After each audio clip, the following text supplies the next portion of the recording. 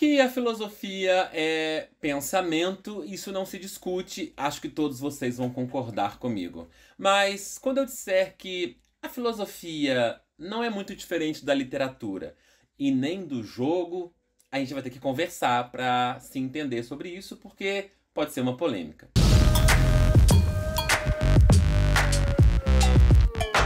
Oi gente, bem-vindos de volta ao Filosofares. Vamos aqui falar nesse vídeo um pouquinho sobre como para Deleuze a filosofia ela não se difere muito da literatura, do jogo, da brincadeira, mas também da dramatização, da construção artística. Vamos falar um pouco sobre isso, mas antes Quero convidar você a se inscrever no canal se você é novo por aqui ou se você não é novo, mas ainda não se inscreveu.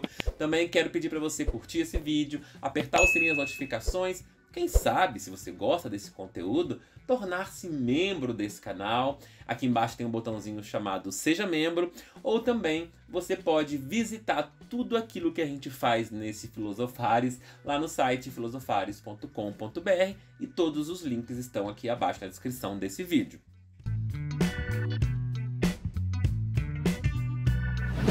Livro Diferença e Repetição de Deleuze, existe aqui um prólogo que é bem famosinho, que é um texto muito curto, inclusive, instigante, mas ao mesmo tempo é, sedutor, que fala, nossa, como Deleuze escreve bem, quero ler as coisas que ele fala.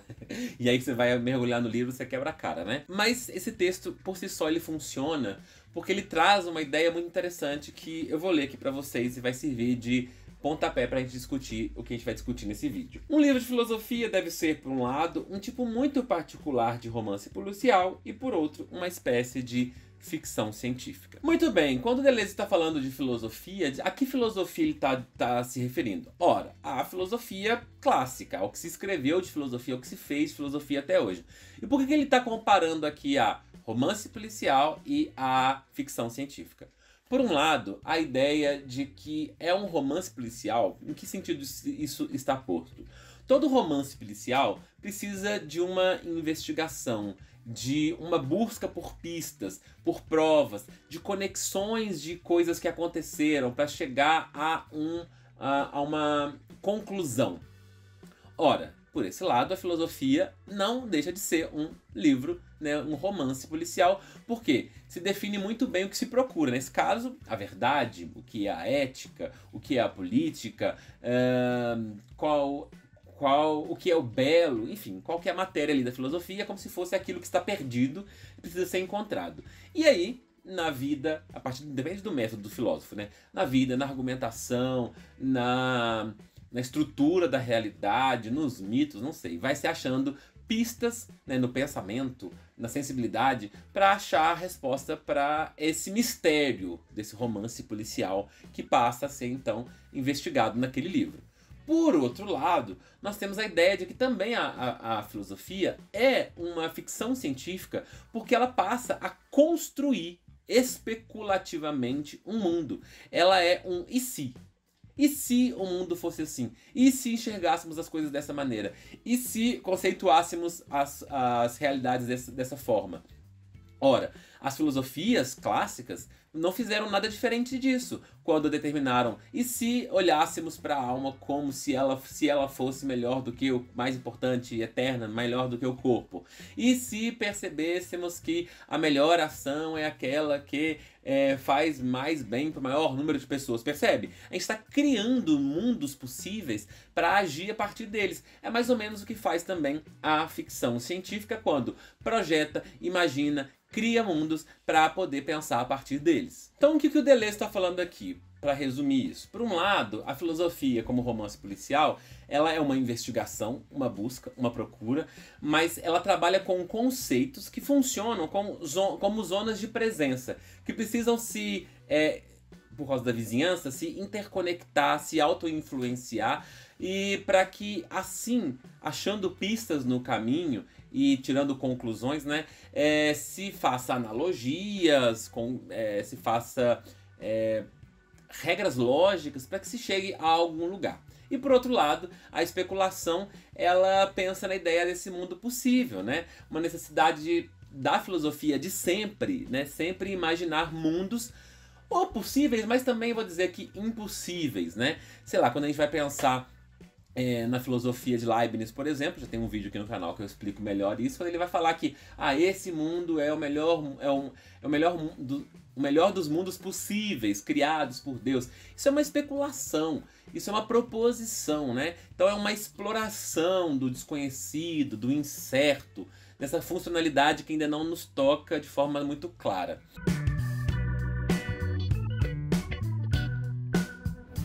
Muito bem, onde, onde isso pode ser é, posto na história da filosofia de forma mais clara como um pontapé, não que tenha, não tenha existido isso antes. Eu gosto de citar, isso aqui não é o Deleuze, eu gosto de citar o Parmênides, quando ele vai falar ali no seu uh, poema da natureza, uma deusa me conduziu pelo caminho da verdade, me falou que existe o caminho do bem, do bem não, o caminho da verdade, o caminho da, do ser, desculpa, e o caminho do não ser, e o caminho do ser é o mais verdadeiro. Essa história, né, do Parmênides sendo conduzido é literatura, percebe? Que eu falei lá no começo que existe um, um, uma abordagem literária na filosofia, mas não é só isso que eu quero dizer mais aqui. Não, não é só isso que eu quero dizer, quero dizer mais aqui. Que eu quero dizer é que essa história do Parmênides ali, e vai se repetir na filosofia por mais e mais vezes, é um jogo. Que, um jogo, Bruno? Como assim um jogo? Claro, é um jogo de esconde-esconde. Isso não é só o Deleuze que fala, não, tá mais explícito lá no Nietzsche, no texto sobre verdade e mentira no sentido extramoral, quando ele vai dizer que a verdade é, um, é como se fosse um objeto que a gente já tinha, escondeu na mata, e passa a vida inteira procurando, sendo que a gente mesmo que escondeu. E esse Parmênides, né, é sendo conduzido pela deusa, procurando o melhor caminho para encontrar nas migalhas do caminho, né, então romance policial, a verdade, é, é um jogo, um jogo de, de procura, né, de esconde-esconde, vamos dizer assim. Há uma proposição de um jogo que funciona é, quando alguém tem um objetivo, tem umas regras para serem conduzidas ali. Existe uma busca, existe uma, uma vitória no final se você encontra o caminho. Existe aqueles que vencem, aqueles que perdem. Percebe? Isso é um, um jogo. E ao mesmo tempo, o poema de Parmênides também faz o outro papel, que é o papel da especulação. Ele cria um mundo possível, um mundo que é o mundo do ser ele é, expulsa o não ser da realidade, porque o ser não é, né, como diz o Parmênides, quando diz que então esse mundo é o mundo daquilo que é o fixo, o permanente, não o mutável. Então ele está especulando também um mundo que só existe a partir de uma perspectiva, a sua. Então aqui eu já tenho a literatura e já tenho também o jogo. E isso funciona de acordo com o pensamento. O pensamento na filosofia, portanto, usando esse caso, mas se eu pudesse ter mais tempo com vocês aqui, eu ia levar a outros exemplos, é sempre uma literatura e é sempre um jogo.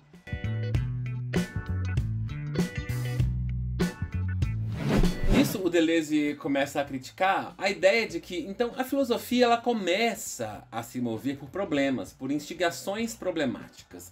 É, é, é o problema que move a filosofia.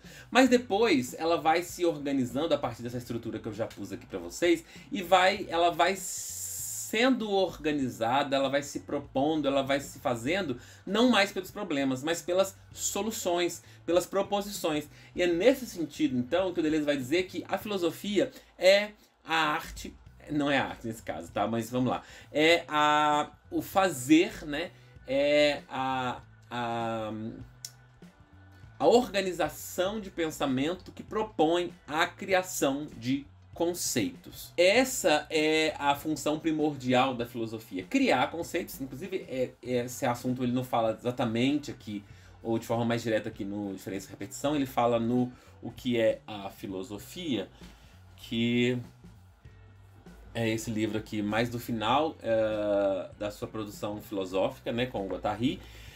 E por que que a filosofia é essa relação, criação de conceitos. Porque ela precisa é, estruturar esses conceitos de forma uh, a fazer sentido dentro de uma proposição uh, de pensamento.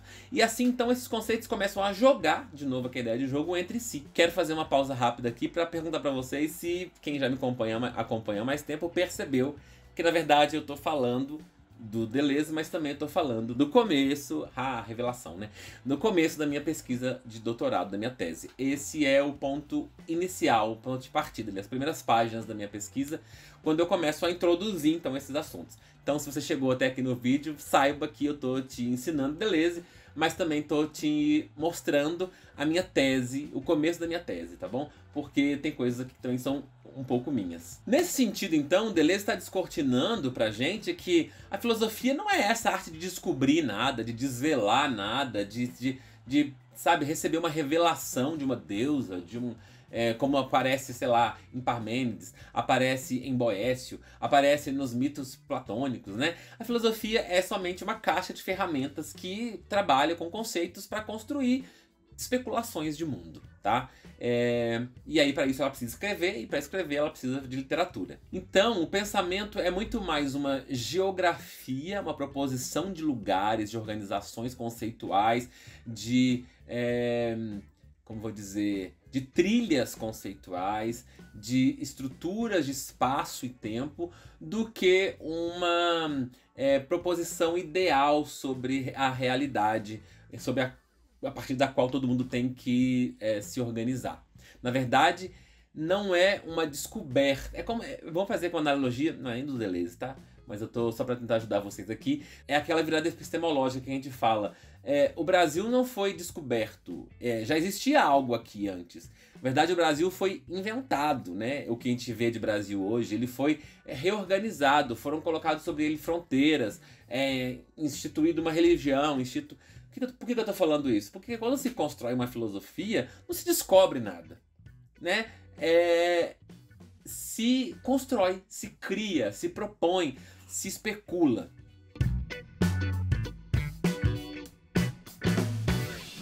É por isso então que essa visão da filosofia como um jogo especulativo e literário vai nortear o começo da minha pesquisa, mas também vai fazer a gente enxergar as filosofias de outras maneiras. Por isso que em cada tabuleiro filosófico de pensamento funcionam regras diferentes e não há no mundo nenhuma regra que esteja já pronta que não possa ser burlada. Na verdade, não há na existência nenhuma regra que não que é seja superior a nós, que seja anterior a nós e ao mesmo tempo que seja é, que faça com que a nossa vida funcione. Portanto, aqui começa a minha pesquisa, precisamos inventar as nossas regras e ver a vida também como um drama. É, esse é o próximo passo que eu dou na minha pesquisa. Eu vou voltar a conversar sobre vocês, com vocês, é, sobre método de dramatização em Deleuze, é um outro texto dele, e como ele vê que a filosofia pode ser muito mais um teatro do que uma história. Bem, gente, por hoje é só. Eu espero que tenha sido bom para vocês esse percurso aqui e vou deixar sempre aqui embaixo aberta a caixa de comentários para vocês fazerem perguntas sobre a minha pesquisa. Eu vou apresentando aos poucos para vocês aqui, é, textos e tal. E, claro, não vai ser só de filosofia de Deleuze que vai viver esse canal, mas como eu falei para vocês outras vezes, vamos falar mais sobre ele. Gostou desse vídeo? Deixa aqui embaixo, então também a sua curtida. Ah, não vai embora sem continuar ah, vendo nossos conteúdos aqui. Aqui do lado, dois outros vídeos sobre Deleuze. E a gente se vê numa próxima. Muito obrigado e tchau.